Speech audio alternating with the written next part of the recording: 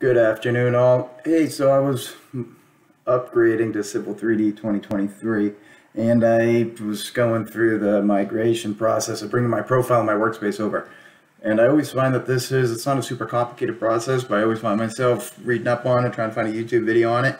So I did, this is going to be a short vid on how to bring those profiles and workspaces over. What's, and we'll take a look at what's in what, so to speak, you know, what's the workspace contain and what's the profile contain. So let's go ahead and jump into Civil 3D.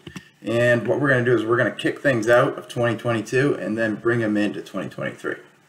So you can see I have some customizations here in 2022. So for example, my home tab, I just have grading optimization displayed in my in my layer and my layers uh, panel. It's the only thing when I when I'm on my home tab. And then you can see I got a red cursor, a black drafting background. You can see if I hit this new button here, start a new template file or start a DWG from a template file. It takes me to my customized location. So how do we get all that into 2023?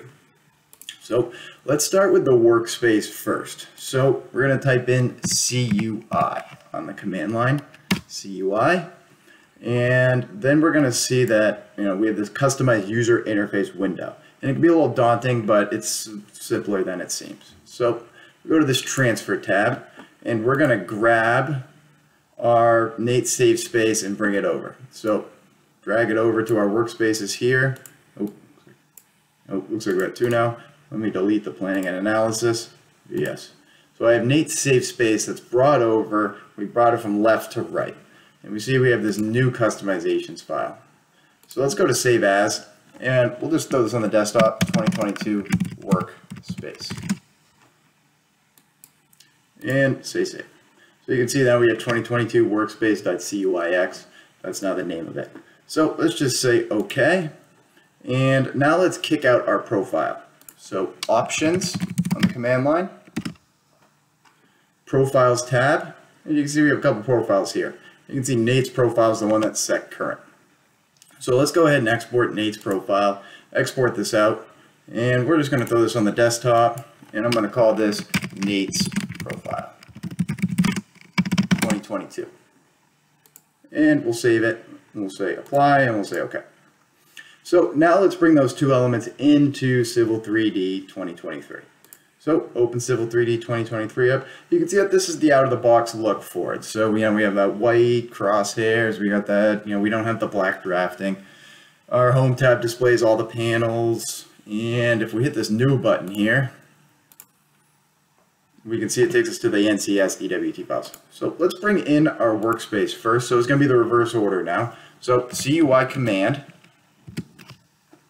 same order, we're going to do the reverse drag and drop. So transfer tab and customizations and new file. So now we're going to open that one we just kicked out. So we're going to go open, go to our desktop, our CUIX file, say open you. See Nate's safe space is now populated right here. Select that. We're going to drag it from right to left. Okay, Nate safe space. We say apply. And then we say OK.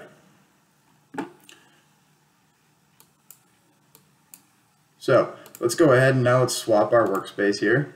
We can go to Nate's safe space.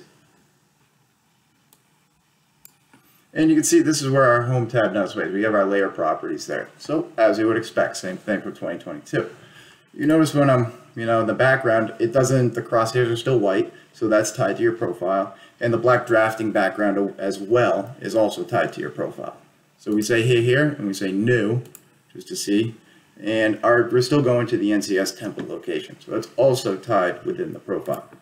So last step, options, and we're going to go to import. Go to desktop, Nate's profile 2022, open you up. I'm just going to get rid of the 2022. Apply and close. We're going to set you current. Apply. Okay. Now you can see we have our red cursors, our black drafting background. If we go here and hit new, it takes me to my template folder location. So just a couple things profiles, workspaces, migrating them, fairly simple. Just uh, a couple picks and clicks, but and what's tied to them. Workspace is going to be that interface. The profile is going to be your crosshairs, the drafting, and all your saved locations, so your templates and whatnot. So hopefully you found this helpful, and uh, thanks for tuning in.